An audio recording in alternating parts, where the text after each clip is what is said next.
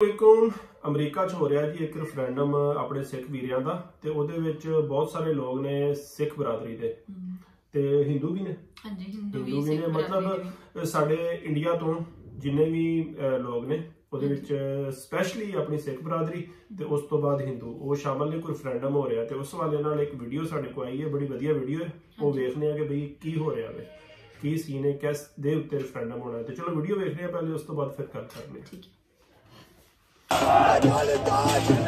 दिल्ली बनेगा मैं दिल्ली बनेगा मैं दिल्ली बनेगा मैं दिल्ली बनेगा मैं दिल्ली बनेगा मैं दिल्ली बनेगा ਮੇਰਾ ਨਾਮ ਪੂਰਾ ਨਾਮ ਗੀਤਾਂਜਲੀ ਬੱਗਾ ਹੈ ਮੈਂ ਹਿੰਦੂ ਕਮਿਊਨਿਟੀ ਨੂੰ ਹੀ ਬਿਲੋਂਗ ਕਰਦੀ ਹਾਂ ਤੇ ਅੱਜ ਦੀ ਡੇਟ ਦੇ ਵਿੱਚ ਮੈਂ ਸਿੱਖੀ ਨੂੰ ਬਹੁਤ ਕਲੋਜ਼ਲੀ ਦੇਖ ਰਹੀ ਹਾਂ ਸੁਣਦੀ ਹਾਂ ਤੇ ਅੱਜ ਇੰਨਾ ਇਕੱਠ ਦੇਖ ਕੇ ਮੈਨੂੰ ਹੋਰ ਪ੍ਰਾਊਡ ਫੀਲ ਹੋ ਰਿਹਾ ਇੱਕ ਦਿਨ ਜ਼ਰੂਰ ਖਾਲਿਸਤਾਨ ਬਣੇਗਾ ਜਿੱਦਾਂ ਹੁਣ ਮੋਦੀ ਹੁਣੀ ਆਪਣੇ ਸਿੱਖਾਂ ਦੇ ਅਤਿਆਚਾਰ ਕਰ ਰਹੇ ਆ ਜਿੱਦਾਂ ਮੁੰਡਿਆਂ ਨੂੰ ਚੁੱਕ ਚੁੱਕ ਕੇ ਜੇਲ੍ਹਾਂ ਵਿੱਚ ਸੁੱਟ ਰਹੇ ਆ। ਮਾਹੌਲ ਹੈ ਜਦੋਂ ਤੁਸੀਂ ਵੋਟ ਪਾਈ ਕਿਸ ਤਰ੍ਹਾਂ ਮਹਿਸੂਸ ਕੀਤਾ? ਕੰਪਿਊਟਰਾਈਜ਼ ਹੈ ਜਾਂ ਪਰਚੀ ਹੈ?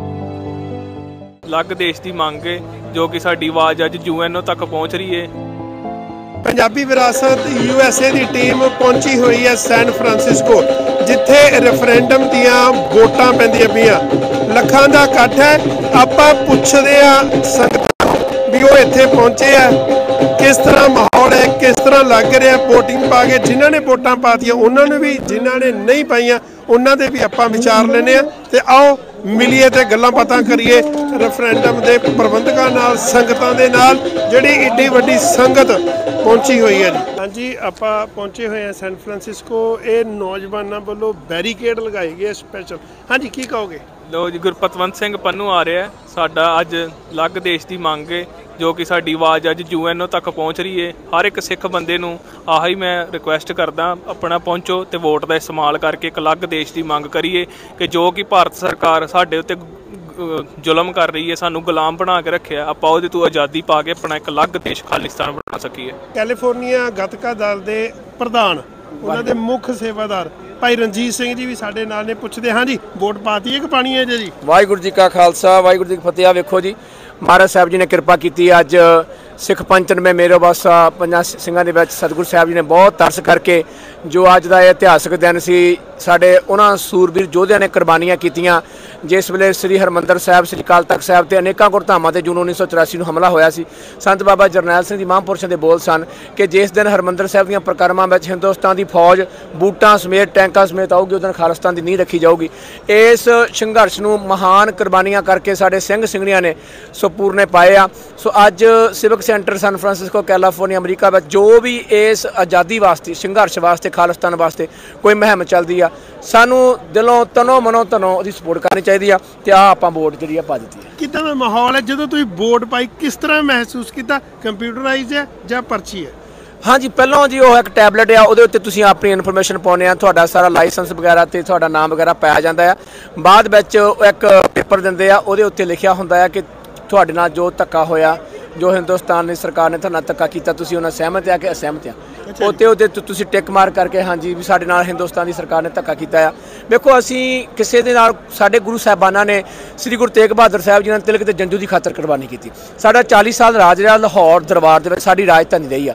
ਸਾਡੇ ਰਾਜ ਦੇ ਵਿੱਚ ਹਿੰਦੂਆਂ ਦੇ ਸ਼ਿਵ ਦੁਆਲੇ ਮੁਸਲਮਾਨਾਂ ਦੀਆਂ ਮਸੀਤਾਂ ਕ੍ਰਿਸ਼ਨਾ ਦੇ ਗਿਰਜੇ ਘਰ ਸੋ ਖਾਲਸਾ ਦੀ ਹਰੇਕ ਵਾਸਤੇ ਜੇ ਹਰਮੰਦਰ ਸਾਹਿਬ ਤੇ ਸੋਨਾ ਲਾਇਆ ਮਹਾਰਾਜਾ ਰਣਜੀਤ ਸਿੰਘ ਨੇ ਤੇ ਹਿੰਦੂਆਂ ਦੇ ਸ਼ਿਵ ਦਿਆਲਿਆਂ ਤੇ ਸੋਨਾ ਲੱਗਾ। ਸੋ ਇਸ ਕਰਕੇ ਇਹ ਜਿਹੜਾ ਸਿੱਖਾਂ ਦਾ ਰਾਜ ਹੈ ਨਾ ਸਿੱਖਾਂ ਦੇ ਰਾਜ ਦੇ ਵਿੱਚ ਕਿਸੇ ਨੂੰ ਵੀ ਧੱਕਾ ਨਹੀਂ ਦਿੱਤਾ ਕੀਤਾ ਗਿਆ। ਸੋ ਇਸ ਕਰਕੇ ਸਾਰਿਆਂ ਵਾਸਤੇ ਇਹ ਇਲਾਹੀ ਰਾਜ ਹੈ। ਗੁਰੂ ਸਾਹਿਬ ਕਿਰਪਾ ਕਰਨ ਚੜ੍ਹਦੀ ਕਲਾ ਬਖਸ਼ਿਸ਼ ਕਰਨ। ਬਹੁਤ ਧੰਨਵਾਦ ਜੀ। ਠੀਕ ਹੈ। ਵਾਹਿਗੁਰੂ ਜੀ ਕਾ ਖਾਲਸਾ। ਵਾਹਿਗੁਰੂ ਜੀ ਹਾਂਜੀ ਨੌਜਵਾਨ ਵੀਰ ਤੇ ਭੈਣਾਂ ਵੀ ਪਹੁੰਚੀਆਂ ਹੋਈਆਂ ਨੇ।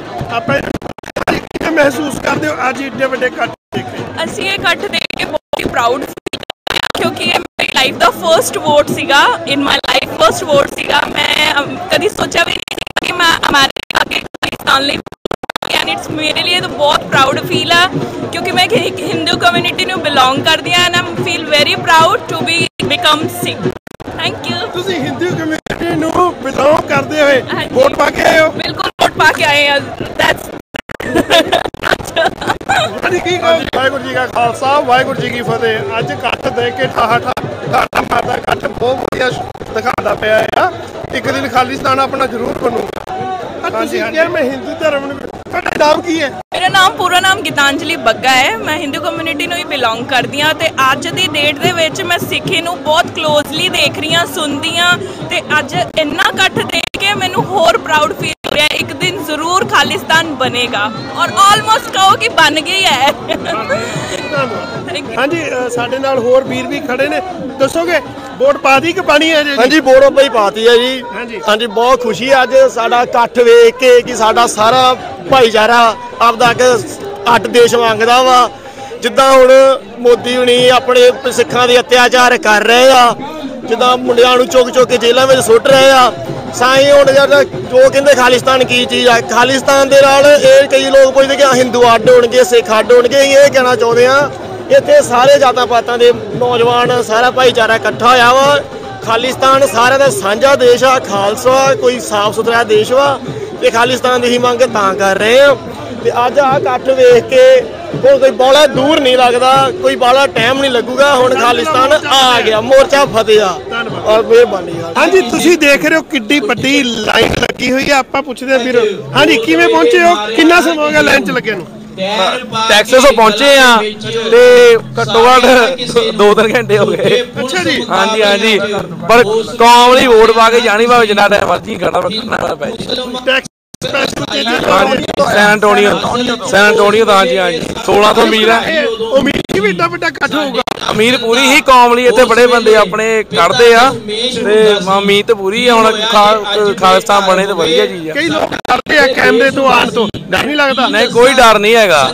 ਕੋਈ ਚੱਕਰ ਨਹੀਂ ਖਾਲਿਸਤਾਨ ਬਣਨਾ ਹੋਇਆ ਤਾਂ ਬਣੂਗਾ ਜ਼ਰੂਰ। ਕੋਈ ਡਰ ਨਹੀਂ ਕਿਸੇ ਤੋਂ ਆਪਾਂ ਨੂੰ ਸਾਡੇ ਕੋਲ ਇੱਕ ਧੀ ਰਾਣੀ ਹੈ ਇਹਨੂੰ ਪੁੱਛਦੇ ਆ ਵੀ ਤੁਹਾਡੀ ਉਮਰ 18 ਸਾਲ ਦੀ ਹੈਗੀ ਜਿਹੜੀ ਤੁਸੀਂ ਵੋਟ ਪਾਣ ਆਏ ਹੋ? ਨਹੀਂ। ਤੇ ਫਿਰ ਕੀ ਕਰਨ ਆਏ ਹੋ ਜੀ? ਮੈਂ ਸਪੋਰਟ ਕਰਨ ਆਈ ਹਾਂ। ਅੱਛਾ ਸਪੈਸ਼ਲ ਉਚੇਚੇ ਤੌਰ ਤੇ। ਕਿੱਥੋਂ ਆਏ ਹੋ? ਮੈਂ ਯੂਬਾ ਸਿਟੀ ਤੋਂ। ਇਹ ਸਪੈਸ਼ਲ ਸਪੋਰਟ ਕਰਨ ਲਈ ਆਏ ਹੋ ਰੈਫਰੈਂਡਮ ਨੂੰ? ਹਾਂਜੀ। ਕਿਸ ਤਰ੍ਹਾਂ ਮਹਿਸੂਸ ਕਰਦੇ ਹੋ? Good nice yeah thank you ਪਹਿਲਾਂ ਤਾਂ ਦੱਸੋ ਤੁਹਾਨੂੰ ਉਮੀਦ ਸੀ ਏਡਾ ਵੱਡਾ ਜਿਹੜਾ ਏਡਾ ਇਕੱਠ ਹੋਣ ਦੀ? ਦੇਖੋ ਜੀ, ਇਹ ਕਦੇ ਅੰਦਾਜ਼ੇ ਨਹੀਂ ਲਾਏ ਜਾਂਦੇ ਜਦੋਂ ਲੋਕ ਲਹਿਰ ਬਣਦੀ ਆ, ਜਦੋਂ ਲੋਕੀ ਆਪ ਮਹਾਰੇ ਘਰਾਂ ਤੋਂ ਆਉਂਦੇ ਨਾ, ਅੰਦਾਜ਼ਾ ਲਾਉਣਾ ਤੇ ਗਲਤ ਹੁੰਦਾ, ਪਰ ਸਿਟੀ ਦੇ ਹਿਸਾਬ ਨਾਲ ਅਸੀਂ ਤੁਹਾਨੂੰ ਕਹਿ ਸਕਦੇ ਕਿ ਸਾਨ ਫਰਾਂਸਿਸਕੋ ਇੱਕ ਇਹੋ ਜੀ ਸਿਟੀ ਆ, ਜਿਹੜੇ ਸਾਡੇ ਵਰਗੇ ਬੈਲੀ 'ਚ ਰਹਿੰਦੇ ਨੇ। ਉਹ ਸਾਡੇ ਕਈ ਇਹੋ ਜਿਹੇ ਡਰਾਈਵਰ ਨੇ, ਸਾਡਾ ਜਿਹੜਾ ਸਬੰਧ ਆ ਟਰੱਕਿੰਗ ਨਾਲ ਰਿਹਾ ਜੇ ਕਿਸੇ ਨੂੰ ਕਹਿ ਦੇਣ ਮੈਂ ਸਾਨ ਫਰਾਂਸਿਸਕੋ ਲੋਡ ਲਾਉਣ ਜਾਣਾ, ਤੇ ਅਗਲਾ ਕਹਿੰਦਾ, ਮੈਂ ਜੌਬ ਤੁਹਾਡੀ ਕੁਇਟ ਕਰਨ ਲੱਗਾ, ਮੈਂ ਸਾਨ ਫਰਾਂਸਿਸਕੋ ਲੋਡ ਲਾਉਣ ਨਹੀਂ ਜਾਣਾ। ਸੋ ਇੱਥੋਂ ਸਾਨੂੰ ਅੰਦਾਜ਼ਾ ਸੀ ਕਿ ਵੱਧ ਤੋਂ ਵੱਧ 30 ਤੋਂ 40 ਹਜ਼ਾਰ ਸੰਗਤ ਮਸੀਂ ਪਹੁੰਚੇਗੀ। ਜੀ। ਤੇ ਮੇਰਾ ਖਿਆਲ ਹੈ 1 ਲੱਖ 15 ਹਜ਼ਾਰ ਜਿਹੜਾ ਹੈੱਡ ਕਾਊਂਟ ਹੋ ਚੁੱਕਾ, ਤੇ ਉਹ ਤੋਂ ਤੁਹਾਨੂੰ ਅੰਦਾਜ਼ਾ ਲੱਗਣਾ ਚਾਹੀਦਾ ਕਿ ਜਿਹੜੀ ਨੇਰੀ ਹੁਣ ਇਹ ਚੱਲ ਪਈ ਹੈ। ਜੇ ਅੱਜ ਆ ਸਾਰੀ ਸੰਗਤ ਨੂੰ ਅਸੀਂ ਦੇਖਦੇ ਆ ਜੇ ਇਹਨਾਂ ਨੂੰ ਕਿਸੇ ਨੂੰ ਪੁੱਛਿਆ ਜਾਵੇ ਤੁਹਾਡਾ ਲੀਡਰ ਕਿਹੜਾ, ਤੁਹਾਨੂੰ ਕੌਣ ਲੈ ਕੇ ਆਇਆ? ਕਿਸੇ ਦਾ ਕੋਈ ਲੀਡਰ ਨਹੀਂ ਭਾਜੀ। ਦੋ ਦੋ ਮਹੀਨੇ ਵਾਲੀਆਂ ਬੱਚੀਆਂ ਬੱਚੀਆਂ ਲੈ ਕੇ ਜਾਂ ਬੱਚੇ ਲੈ ਕੇ ਬੀਬੀਆਂ ਸਾਡੀਆਂ 20 25 ਸਟਰੋਲਰਾਂ ਵਾਲੀਆਂ ਬੀਬੀਆਂ ਮੈਨੂੰ ਸਵੇਰ ਦੀਆਂ ਮਿਲ ਰਹੀਆਂ। ਤੁਸੀਂ ਅੰਦਾਜ਼ਾ ਲਾ ਲਓ ਕਿ ਡੇਢ ਮਹੀਨੇ ਦਾ ਬੱਚਾ ਲੈ ਕੇ ਇੰਨੀ ਕਰਾਊਡ ਦੇ ਵਿੱਚ ਆਉਣਾ। ਇਹ ਜਿਹੜੀ ਨੇਰੀ ਚੱਲੀ ਆ ਮੇਰਾ ਖਿਆਲ ਆ ਵੀ ਹਿੰਦੁਸਤਾਨ ਦੇ ਤਖਤ ਤੇ ਪਲਟ ਦੇਵੇਗੀ। ਇਹ ਨਾ ਰੁਕਣ ਵਾਲੀ ਨੇਰੀ ਜਿਹੜੀ ਆ, ਲੋਕ ਲਹਿਰ ਜਿਹੜੀ ਬਣੀ, ਖਾਲਸਤਾਨ ਦੀ ਲਹਿਰ ਆਪਣੇ ਆਪ ਬਣੀ ਹੈ। ਚੌਂ ਦਹਾਕਿਆਂ ਦੇ ਵਿੱਚ ਪਹਿਲੀ ਵਾਰ ਇਹੋ ਜਿਹਾ ਕੰਮ ਹੋਣ ਲੱਗਾ। ਜੇ ਸੰਤਾਂ ਦੇ ਟਾਈਮ ਤੋਂ ਬਾਅਦ ਦੀ ਗੱਲ ਕਰੀਏ, ਵਿਦੇਸ਼ਾਂ ਦੇ ਵਿੱਚ ਸੰਗਤ ਕਿਤੇ ਇੰਨੀ ਜੁੜੀ ਹੈ, ਸਾਨ ਫਰਾਂਸਿਸਕੋ ਦੀ ਧਰਤੀ ਤੇ 1 ਲੱਖ 15 ਹਜ਼ਾਰ ਬੰਦਾ ਜੁੜ ਜਾਣਾ। ਆਪਣੇ ਆਪ ਦੇ ਵਿੱਚ ਇੱਕ ਮਾਈਲਸਟੋਨ ਆ, ਇੱਕ ਉਹ ਮੀਲ ਪੱਥਰ ਆ ਜਿਹੜਾ ਰਹਿੰਦੀ ਦੁਨੀਆ ਤੱਕ ਨਾ ਇਤਿਹਾਸ ਦੇ ਵਿੱਚ ਲਿਖਿਆ ਜਾਊਗਾ। ਕੈਨੇਡਾ ਦਾ ਰਿਕਾਰਡ ਤੋੜ ਦਿੱਤਾ। ਆਮ ਕਹਿੰਦੇ ਸੀ ਵੀ ਕੈਨੇਡਾ 'ਚ ਬਹੁਤ ਵੱਡਾ ਇਕੱਠ ਹੋਇਆ ਬਹੁਤ ਸੰਗਤ ਪਹੁੰਚੀ ਪਰ ਅੱਜ ਇੱਥੋਂ ਦਾ ਇਹਦੇ ਬਾਰੇ ਕੀ ਕਹੋ ਤੁਹਾਨੂੰ ਦੱਸਣਾ ਚਾਹੁੰਦਾ ਕਿ ਕੈਨੇਡਾ 'ਚ 1 ਲੱਖ 35000 ਵੋਟ ਇੱਕ ਵੋਟ ਇੱਕ ਗੇਟ 'ਚ ਪਈ ਸੀ। 65000 ਜਿਹੜੀ ਵੋਟ ਉਹ ਇੱਕ ਗੇਟ 'ਚ ਪਈ ਸੀ। ਮੇਰਾ ਖਿਆਲ ਹੈ ਵੀ ਜੇ 1 ਲੱਖ 15000 ਵੋਟ ਅਸੀਂ ਭੁਗਤਾ ਗਏ ਜਿੰਨੀਆਂ ਸੰਗਤਾਂ ਨੂੰ ਪਿੱਛੇ ਮੁੜਨਾ ਪੈਣਾ ਜੇ ਆਪਾਂ ਪਰਸੈਂਟੇਜ ਕੱਢੀਏ ਕੈਨੇਡਾ ਦੇ ਵਿੱਚ ਸਰੀ ਦੇ ਵਿੱਚ ਸਿਰਫ 5 ਮੀਲ ਦੇ ਵਿੱਚ 2.5 ਲੱਖ ਬੰਦਾ ਬੈਠਾ ਤੇ ਸਾਡੇ ਕੈਲੀਫੋਰਨੀਆ ਦੇ ਵਿੱਚ ਟੋਟਲ 5 ਲੱਖ ਪੰਜਾਬੀ ਹੈ ਜੀ। ਜਿਹੜੀ ਪੰਜਾਬੀ ਸਿੱਖ ਸੰਗਤ ਹੈ ਟੋਟਲ 5 ਲੱਖ ਹੈ। ਸੋ 5 2.5 ਲੱਖ ਹੈ ਮਾਈ ਬੈਡ ਸੋ 2.5 ਲੱਖ ਦੇ ਵਿੱਚੋਂ 1 ਲੱਖ 15000 ਜਿੱਥੇ ਪਹੁੰਚ ਗਈ ਹੈ। ਸੋ ਇਹਦਾ ਮਤਲਬ 50% ਵੋਟ ਆਲਰੇਡੀ ਇੱਥੇ ਆ ਚੁੱਕੀ ਹੈ। ਤੋ ਇਹ ਤੋਂ ਤੁਸੀਂ ਅੰਦਾਜ਼ਾ ਲਾ ਸਕਦੇ ਹੋ ਕੈਨੇਡਾ ਦਾ ਰਿਕਾਰਡ ਵੀ ਜਿਹੜਾ ਉਹ ਟੁੱਟ ਗਿਆ। ਤੇ ਲੈਣਾ ਮੇਰਾ ਖਿਆਲ ਹੈ ਬਈ 10 ਜਾਂ 12 ਬੰਦੇ ਲਾਈਨ ਦੇ ਵਿੱਚ ਸੇਮ ਟਾਈਮ ਤੇ ਪੈਰਲਲ ਜਾ ਰਹੇ ਨੇ। ਜੇ ਸਿੰਗਲ ਲਾਈਨ ਲਵਾਈ ਜਾਵੇ ਤਾਂ ਪ੍ਰਬੰਧਕ ਵੀਰ ਹੱਸਦੇ ਸੀ ਕਿ ਲਾਈਨ ਸੈਨ ਉਸੇ ਤੱਕ ਨਾ ਪਹੁੰਚ ਜਾਣੀ। ਸੋ ਕਹਿਣ ਦਾ ਮਤਲਬ ਇੰਨਾ ਸੰਗਤਾਂ ਦਾ ਉਤਸ਼ਾਹ ਅਸੀਂ ਤੁਹਾਨੂੰ ਦੱਸ ਨਹੀਂ ਸਕਦੇ, ਸਾਨੂੰ ਚਾਹ ਕਿੰਨਾ ਮਿਹਨਤ ਸਾਰੀ ਸੰਗਤਾਂ ਦੀ ਹੈ। ਇਹ ਸੰਗਤਾਂ ਦਾ ਖੋਦਾ ਕਾਰਜ ਸੀ। ਮੈਨੂੰ ਇੱਕ ਵੀ ਬੰਦਾ ਇਸ ਲਹਿਰ ਦੇ ਵਿੱਚ ਲੀਡਰ ਘੁੰਮਦਾ ਦਿਖਾ ਦਿਓ। ਜਾਂ ਜਿਹੜੀਆਂ ਵੀ ਸੰਸਥਾਵਾਂ ਸਨ, ਕਿਸੇ ਦਾ ਲੀਡਰ ਕਹਿ ਦੇਵੇ ਕਿ ਮੈਂ ਸਿੰਘ ਲੈ ਕੇ ਆਇਆ ਜਾਂ ਮੈਂ ਬੰਦੇ ਜਾਂ ਸੰਗਤ ਲੈ ਕੇ ਆਇਆ, ਇਹ ਜਿਹੜੀ ਸੰਗਤ ਸੀ, ਆਪ ਮੁਹਾਰੇ ਉੱਠੀ ਹੈ। ਆਪਣੇ ਤੌਰ ਤੇ ਆਈ ਹੈ। ਜਿਹੜਾ ਬਹਾਅ ਚੱਲ ਪਿਆ ਜਿਹੜੀ ਨੇਰੀ ਇਹ ਚੱਲੀ ਹੈ ਜਿਹੜੀ ਹਿੰਦੂ ਹਕੂਮਤ ਸਾਡੇ ਸਿਰ ਤੇ ਬੈਠੀ ਤਸ਼ੱਦਦ ਕਰਦੀ ਰਹੀ ਨੇਚਰ ਤੋਂ ਮੇਰਾ ਖਿਆਲ ਹੈ ਕਿ ਦੁਨੀਆ ਦੀ ਕੋਈ ਵੀ ਤਾਕਤ ਉਹਨਾਂ ਦੀਆਂ ਜੜ੍ਹਾਂ ਪੱਟਣ ਤੋਂ ਹੁਣ ਨਹੀਂ ਬਚਾ ਸਕਦੀ। ਸਾਨ ਫਰਾਂਸਿਸਕੋ ਵਿੱਚ ਇਕੱਠ ਹੋਇਆ ਹੈ ਸੰਗਤ ਆਈ ਹੈ ਤੇ ਉਮੀਦ ਤੋਂ ਬਹੁਤ ਜ਼ਿਆਦਾ ਲੋਕ ਨੇ। ਉਹਨਾਂ ਨੇ ਤੇ ਉਮੀਦ ਸੀ ਕਿ ਵੀ 30000 ਹੋ ਜਾਣਗੇ ਬਟ ਇਹ ਵੀ ਕਿ ਕਾਫੀ ਜ਼ਿਆਦਾ ਲੋਕ ਨੇ ਇਕੱਠੇ ਹੋਏ ਪਏ। ਤੇ ਦੂਸਰੀ ਗੱਲ ਇਹ ਹੈ ਕਿ ਖਾਲਿਸਤਾਨ ਦਾ ਨਾਰਾ ਜਦੋਂ ਲਾਉਂਦੇ ਨੇ ਸਿੱਖ ਤੇ ਬਹੁਤ ਸਾਰੇ ਲੋਕਾਂ ਨੂੰ ਇਹਦੇ ਬਾਰੇ ਚ ਮਸਲਾ ਹੁੰਦਾ ਹੈ ਤਕਲੀਫ ਲਫ਼ਜ਼ ਤਾਂ ਥੋੜਾ ਗਲਤ ਹੈ ਮਸਲਾ ਹੁੰਦਾ ਹੈ। ਤੇ ਉਹਦੀ ਵਜ੍ਹਾ ਇਹ ਹੈ ਕਿ ਜਿਵੇਂ ਸਤ ਜਰਨੈਲ ਸਿੰਘ ਤੇ ਜ਼ੁਲਮ ਕੀਤਾ ਇਹਨਾਂ ਨੇ ਬਿਲਕੁਲ। ਅਹ 1984 ਚ। ਹਾਂਜੀ। ਤੇ ਦੇਖੋ ਜੀ ਉਹ ਕੋਈ ਤਰੀਕਾਕਾਰ ਤੇ ਕੋਈ ਨਹੀਂ ਸੀ ਸਿੱਖ ਚੁੱਕ ਚੁੱਕ ਕੇ ਇਹਨਾਂ ਨੇ ਮਾਰੇ। ਤੇ ਜ਼ਾਰੀ ਗੱਲ ਹੈ ਫਿਰ ਇਹਨਾਂ ਨੇ ਆਪਣੇ ਜਿਹੜੇ ਮੁਖਾਲਫੀਨ ਨੇ ਉਦੋਂ ਇਹਨਾਂ ਨੇ ਪੈਦਾ ਕੀਤੇ। ਤੇ ਉਹਨਾਂ ਦੇ ਮਤਲਬ ਦਿਲਾਂ ਵਿੱਚ ਨਫ਼ਰਤ ਪੈਦਾ ਹੋਈ ਤੇ ਉਹਨਾਂ ਨੇ ਖਾਲਿਸਤਾਨ ਦਾ ਨਾਰਾ ਲਾਇਆ। ਹਾਲੇ ਤੱਕ ਜ਼ੁਲਮ ਹੋ ਰਿਹਾ ਨਾ ਜਿਹੜਾ ਉਹ ਬੰਦਾ ਕਹਿ ਰਿਹਾ ਕਿ ਉਹਨਾਂ ਬੰਦੇ ਸਾਡੇ ਚੁੱਕ ਚੁੱਕ ਕੇ ਪੌਦੇ ਮਿਲਾਦਾ ਭਾਨਾ ਸਿੱਧੂ ਦੀ ਬਾਰੇ ਚ ਗੱਲ ਕੀਤੀ ਭਾਨਾ ਜਾ ਸਿੱਧੂ ਰਹੀ ਵੇਖ ਲਓ ਹੈ ਜੀ ਉਹਦੇ ਤੇ ਐਵੇਂ ਝੂਠੇ ਕੇਸ ਬਣਾਏ ਜੀ ਇੱਕ ਔਰਤ ਨੂੰ ਖੜਾ ਕਰ ਦਿੱਤਾ ਕਿ ਵੀ ਇਹਨੇ 10000 ਰੁਪਇਆ ਮੇਰੇ ਕੋਲ ਮੰਗਿਆ ਵੇ। ਤੇ ਉਹ ਕੇਸ ਪਾਤਾ ਝੂਠੇ ਕੇਸ ਪਾ ਪਾ ਕੇ ਕਦੀ ਕਿਸੇ ਜੇਲ੍ਹ 'ਚ ਲੈ ਕੇ ਜਾ ਰਹੇ ਨੇ ਕਦੀ ਕਿਸੇ ਜੇਲ੍ਹ 'ਚ ਲੈ ਕੇ ਜਾ ਰਹੇ ਨੇ। ਤੇ ਇਹ ਜ਼ਿਆਤੀ ਹੈ ਜ਼ਿਆਤੀ ਦਾ ਵਜ੍ਹਾ ਹੈ ਕਿ ਤੁਸੀਂ ਖਾਲਿਸਤਾਨ ਦਾ ਨਾਰਾ ਲਗਵਾ ਰਹੇ ਹੋ ਲੋਕਾਂ ਕੋਲੋਂ। ਮੈਨੂੰ ਤਾਂ ਬਹੁਤ ਅੱਛਾ ਲੱਗ ਰਿਹਾ ਕਿ ਇੰਨੇ ਲੋਕ ਇਕੱਠੇ ਹੋਏ ਔਰ ਆਪਣੇ ਹੱਕ ਵਾਸਤੇ ਇਕੱਠੇ ਹੋਣਾ ਜਿਹੜਾ ਵਾ ਉਹ ਜਾਇਜ਼ ਆ। ਤੇ ਦੂਸਰੀ ਗੱਲ ਇਹ ਤੁਹਾਡੀ ਗੱਲ ਬਿਲਕੁਲ ਸਹੀ ਹੈ ਕਿ ਦੇਖੋ ਅਗਰ ਤੁਹਾਡੇ ਤੇ ਜ਼ੁਲਮ ਹੋ ਰਿਹਾ ਤੁਸੀਂ ਇਕੱਠੇ ਖੜੇ ਨਹੀਂ ਹੁੰਦੇ ਤੇ ਮਤਲਬ ਇਹਦਾ ਹੈ ਕਿ ਤੁਸੀਂ ਫਿਰ ਬੜੇ ਲੋ ਲੈਵਲ ਦੇ ਆਦਮੀ ਹੋ। ਕਿਉਂਕਿ ਜ਼ੁਲਮ ਸਹਿਣਾ ਜਿਹੜਾ ਹੈ ਉਹ ਕੋਈ ਉਹ ਤੇ ਬੁਜ਼ਦਿਲ ਬੰਦੇ ਦਾ ਕੰਮ ਹੈ। ਬੁਜ਼ਦਿਲ ਬੰਦੇ ਦਾ ਕੰਮ ਹੈ ਤੇ ਬਹੁਤ ਅੱਛਾ ਕਰ ਰਹੇ ਨੇ ਜੋ ਕੁਝ ਕਰ ਰਹੇ ਨੇ। ਲੋਕ ਇਕੱਠੇ ਹੋਏ ਨੇ। ਉਹਨਾਂ ਦਾ ਇੱਕ ਮੋਟਿਵ ਹੈ।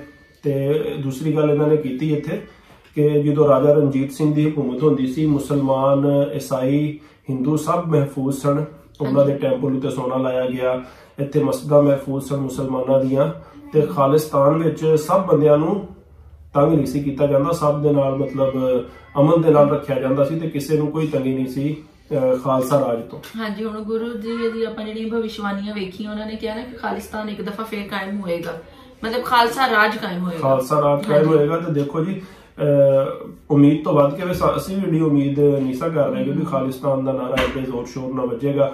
ਅਸੀਂ ਮਤਲਬ ਪਹਿਲੇ ਖਾਲਿਸਤਾਨ ਦੀ ਗੱਲ ਸੁਣਦੇ ਆ ਰਹੇ ਆ ਕਾਫੀ ਅਰਸੇ ਤੋਂ ਕਿ ਬਈ ਖਾਲਿਸਤਾਨ ਖਾਲਿਸਤਾਨ ਬਟ ਇਹ ਵੇ ਕਿ ਹੁਣ ਜਿਹੜੀ ਇਹ ਚੀਜ਼ ਵੇਖ ਰਹੇ ਆ ਇਹਦੇ ਚ ਲੱਗ ਰਿਹਾ ਹੈ ਕਿ ਕੋਈ ਮਤਲਬ ਅੱਛੀ ਪ੍ਰੋਗਰੈਸ ਹੋ ਰਹੀ ਹੈ ਇਹਦੇ ਯਾਨੀ ਕਿ ਇਹਦੇ ਕੋਈ ਪੋਜ਼ਿਟਿਵ ਹੀ ਰਿਸਪੌਂਸ ਮਿਲੇਗਾ। ਅੱਛਾ ਜਿਹੜੇ ਸਿੱਖ ਵੀਰ ਸਾਨੂੰ ਵੇਖ ਰਹੇ ਨੇ ਉਹ ਸਾਨੂੰ ਕਮੈਂਟਸ 'ਚ ਲਾਜ਼ਮੀ ਦੱਸਣ ਕਿ ਤੁਸੀਂ ਇਹਦੇ ਬਾਰੇ 'ਚ ਆਪਣੀ رائے ਕੀ ਰੱਖਦੇ ਹੋ? ਕਿ ਮਤਲਬ ਇਹ ਰੈਫਰੈਂਡਮ ਜਿਹੜਾ ਹੋਇਆ ਹੈ ਇਹਦੀ ਕੀ ਵੈਲਿਊ ਹੈ ਇਹਦੀ ਹیثیت ਕੀ ਹੈ? ਤੇ ਦੂਸਰਾ ਤੁਸੀਂ ਕੀ ਸੋਚਦੇ ਹੋ ਇਸ ਦੇ ਬਾਰੇ ਵਿੱਚ? ਕਿਉਂਕਿ ਬਹੁਤ ਸਾਰੇ ਲੋਕ ਸਾਨੂੰ ਯੂਐਸਏ 'ਚ ਵੀ ਵੇਖ ਰਹੇ ਹੋਣੇ ਆ। ਅਗਰ ਕੋਈ ਯੂਐਸਏ 'ਚ ਵੇਖ ਰਿਹਾ ਸਾਨੂੰ ਔਰ ਇਸ ਰੈਫਰੈਂਡਮ ਚ ਵੀ ਗਿਆ ਹੈ ਤਾਂ ਜ਼ਰੂਰ ਸਾਨੂੰ ਕਮੈਂਟ ਕਰਕੇ ਦੱਸੋ। ਚਲੋ ਜੀ ਤੁਸੀਂ ਕਮੈਂਟ ਕਰਕੇ ਲਾਜ਼ਮੀ ਦੱਸੋ ਤੇ ਸਾਰੇ ਵੀਰੇ ਦੱਸਣ ਕਿ ਤੁਸੀਂ ਇਹਦੇ ਬਾਰੇ 'ਚ ਆਪਣੀ ਸੋਚ ਕੀ ਰੱਖਦੇ ਹੋ। ਖਾਲਿਸਤਾਨ ਦੇ ਬਾਰੇ 'ਚ। ਚਲੋ ਰੱਖੋ ਆਪਣਾ ਖਿਆਲ ਮਿਲਦੇ ਹਾਂ ਨੈਕਸਟ ਵੀਡੀਓ 'ਚ।